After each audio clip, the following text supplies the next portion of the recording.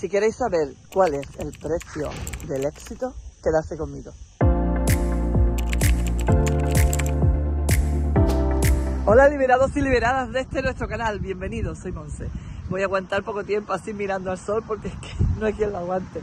Este sol de mi Málaga es maravilloso.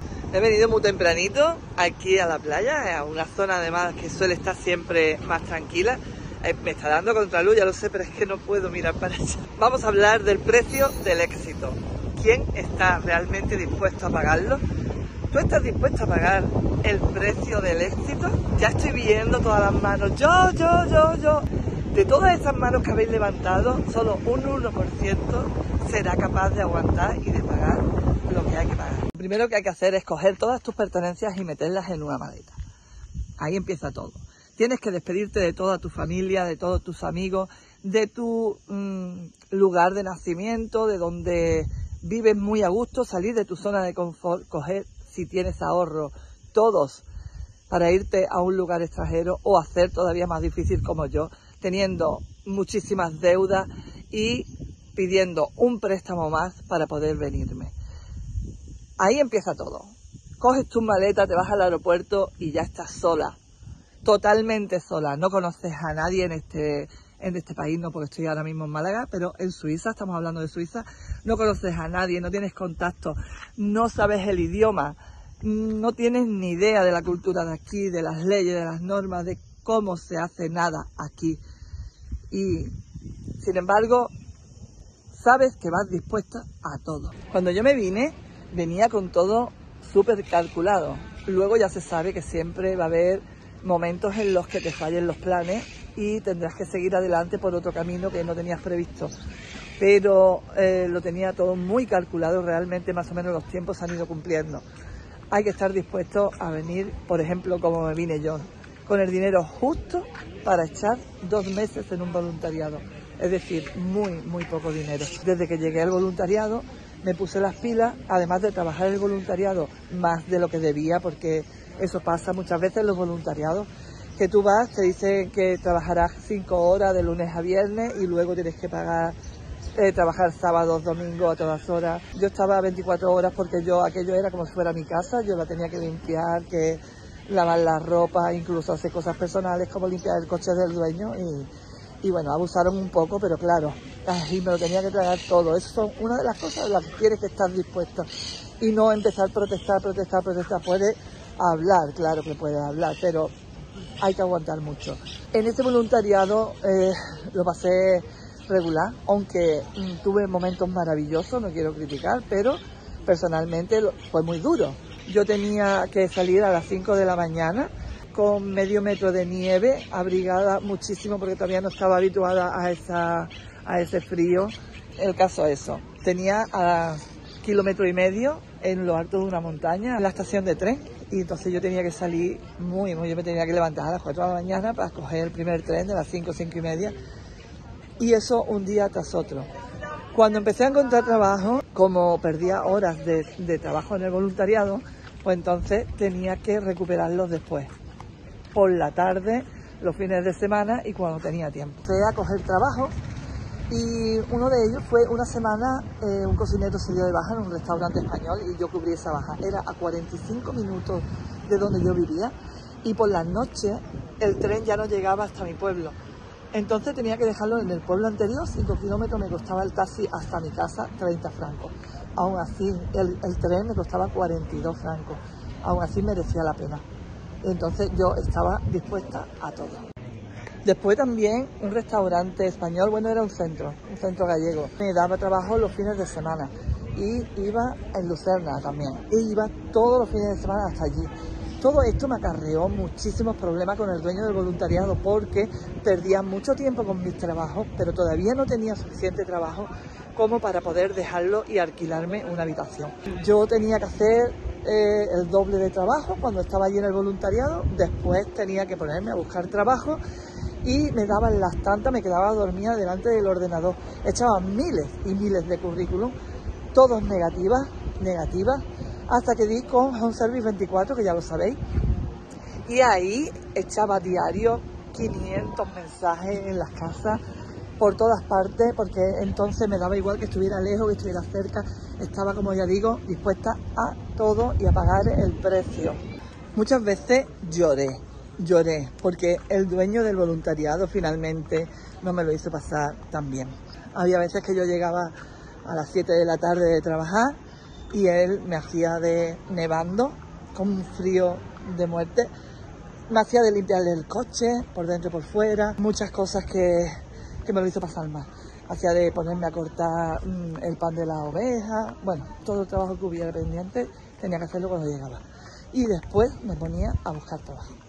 Cuando por fin ya no tenía tiempo de trabajar en el voluntariado, le propuse al dueño de pagarle un pequeño alquiler, por lo menos, aunque siguiera con las tareas de limpieza, de hacer la comida y de todo, igual que antes, pero le pagaría un alquiler porque ya trabajaba menos, menos horas.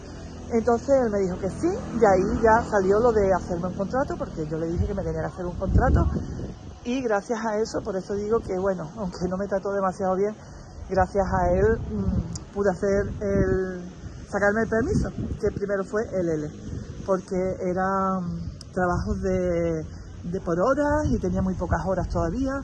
Yo tenía mucho miedo de no tener dinero, de, de poder pagar el alquiler y de poderme ir, porque no tenía dinero se me acababa el que ya había llevado y todavía tenía muy pocos ingresos. Yo empecé pues con una casa, después otra, otra, otra, hasta tener lo que tengo hoy en día. Realmente desde que empecé lo hacía súper bien, me esforzaba al máximo, incluso más de lo que me decían, hacía, para que después me pusieran buenas reseñas y eso me sirvió muchísimo también en la página de Home Service. El tener muchas buenas reseñas con cinco estrellas eso me ayudó muchísimo. Todas esas cosas son a las que me refiero, que no todo el mundo está dispuesto a pagar. A mí mucha gente me llama desde España, ahora que soy un poquito conocida, y me dice, ay, sé por favor, me quiero ir para allá. Vale, ya sabéis que necesito personal, entonces yo escucho y escribo. Pero luego ya tienen la principal puerta abierta, que es venir aquí y tener un trabajo.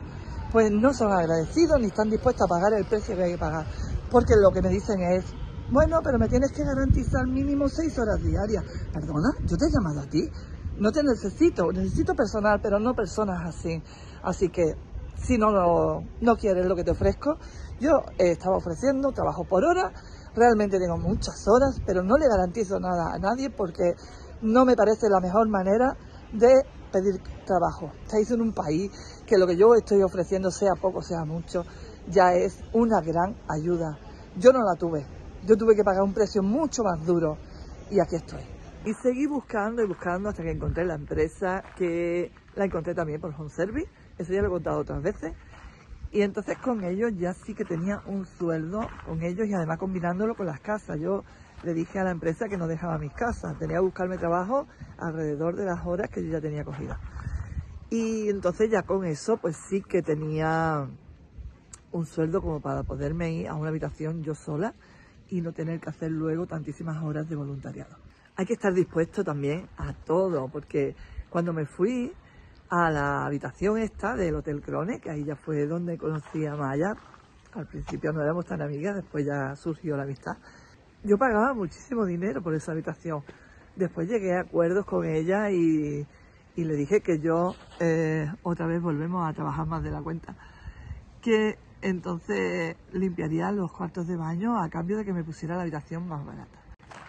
Estuve pasando todo el verano, eso lo decidí, le mentí a, Maya, le dije, me voy porque necesito una habitación en el centro de Berna, porque tengo todo el trabajo alrededor de todo Berna y lo que es la ciudad está en el medio y me viene mejor. Eh, yo no había encontrado ninguna habitación más barata, que la estuve buscando, pero ya os digo que buscaré una habitación aquí es súper complicado.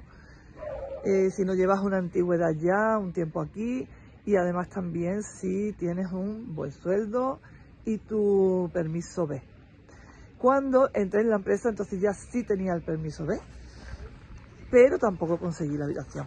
Aquí es súper, súper complicado. Lo de conseguir una habitación lo recalco tanto porque en realidad es así. Como no lo encontré y me vi bastante apurada porque me vino eh, no sé, fueron cuatro meses seguidos de, seguro médico, que eso es así, hasta que no te llega y luego ya te cobran desde que lo solicitaste. Y tenía que pagar esos cuatro meses, tenía que pagar la habitación, tenía que pagar muchísimos gastos, tenía que pagar la gasolina, porque la empresa me ponía el coche pero no la gasolina. Aquí todo el mundo quiere también que se le pague transporte, comida, todos los lujos y no es así.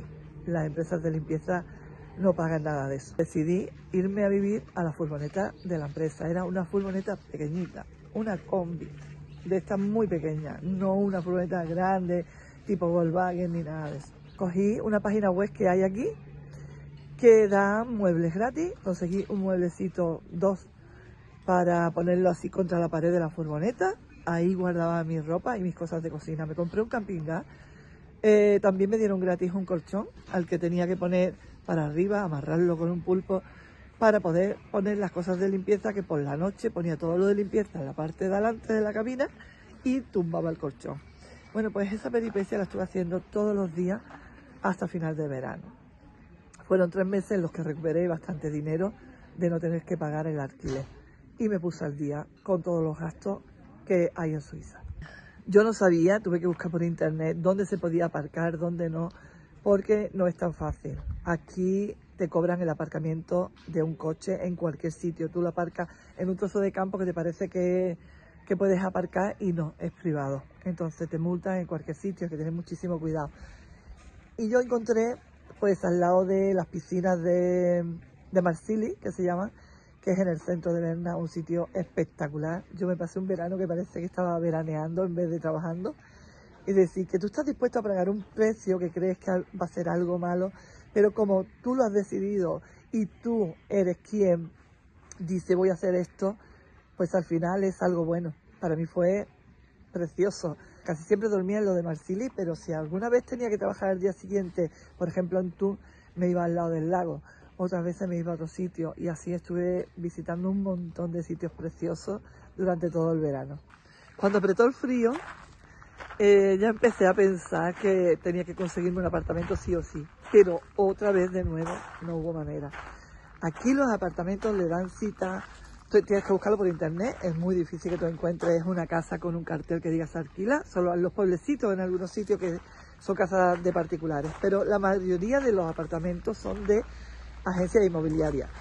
Y tienes que pedir una cita, a esa cita acude como 15 personas, todos a la vez, ven el apartamento, te rellenas un formulario que te dan y ellos deciden a.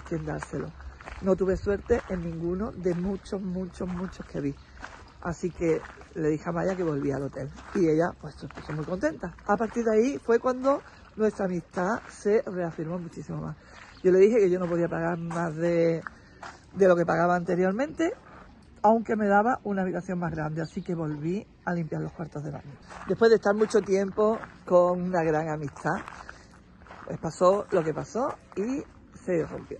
Y ya está. Tienes que estar dispuesta también a eso es parte también del precio. Tienes que coger y si una amistad se va, decir, bueno, pues por algo será y siempre para mejor. También tienes que estar dispuesto a que cuando empiezas a asomar un poquito y destacar un poquito más de lo normal, a que van a ser todos palos, palos, palos y palos por todas partes. Te vas a quedar solo y tienes que estar dispuesto a seguir luchando contra corriente y contra todo lo que te pase. Tienes que estar dispuesto a no tener unas vacaciones en condiciones, porque mis vacaciones, estas últimas en Málaga, han sido puro infierno. La empresa yo dejé muchísima gente que como no cuajaba nadie, muchos eran nuevos, otros decían tener experiencia, pero la realidad fue que yo tuve el 24 horas el móvil en la mano, porque no eran capaces de solucionar ni un problema. A las 7 de la mañana me escribían para decirme, sabiendo que estoy de vacaciones, sin tener piedad ninguna, para decirme, ya estoy aquí en el sitio de trabajo. Digo, vale, ¿qué quieres? ¿Te pongo una medalla? Por favor, trabajar. Cosas como esa no podéis imaginar el día entero, el día entero que mi madre y mi hermana me decían, pero por favor, no sé qué vacaciones son estas. Y yo decía, bueno, pues esto es lo que hay. A solucionar problemas, solucionar problemas. Fue un problema detrás de otro. María, mi nuera, estaba desesperada. Ella no podía ya abarcar más problemas y estuvo a punto de decirme que se iba de, lo mal que se encontraba ya, de la situación de estrés. Y yo, imaginaros, la impotencia desde Málaga sin poder hacer nada, sin poder solucionar nada. Todo por teléfono, por teléfono, excusándome con las personas. He tardado tres meses, que por eso no he estado grabando vídeos ni uno, intentando solucionar todos el desbarajuste que había en dos semanas que yo estuve de vacaciones. Horrible. Tuve que reajustar todo, empezar de cero, echar a todo el personal y quedarme yo, María y otra persona más. Entre los tres, gracias a Dios que la temporada ha bajado, que en octubre está todo mucho más tranquilo, por eso estoy pudiendo terminar de grabar este vídeo, porque hasta ahora, desde que me vine de Málaga, no he tenido un segundo y ha sido una angustia. Por fin ahora estamos más tranquilos, está todo otra vez súper organizado y cuando apriete otra vez la temporada alta, que supongo que será para diciembre, ahora mismo estamos a final de octubre, entonces volveré a buscar a gente, pero ya con mucho conocimiento. Todo lo que me ha pasado ha sido un aprendizaje súper bueno, porque ahora ya sé cómo entrevistar a las personas. sé también a quién tengo que meter en mi casa y a quién no. Sé también a quién tengo que ayudar y a quién no. He aprendido muchísimo también, porque todo es eso, hay que estar dispuesto a tomártelo todo como un aprendizaje. Un aprendizaje súper valioso que te va haciendo de crecer y crecer. He aprendido de que no se puede ayudar así a la primera persona que llega, porque me encontré también cuando vine con mi madre y mi hermana, que vino una persona de Argentina, que yo le abrí mi casa, le dije que podía estar como voluntaria durante un mes y luego le haría una prueba de trabajo y si sirve, así de claro se lo dije, te quedarías, si no, no puedes quedarte. Bueno, pues estuvo una semana, se asustó, fue en busca de la otra que ya me la había jugado también y se pusieron de acuerdo entre las dos. Le dije, te voy a hacer una prueba. Y ese mismo día, a las 5 de la mañana, se fue a escondida a buscar a la otra persona y a comisaría las dos juntas.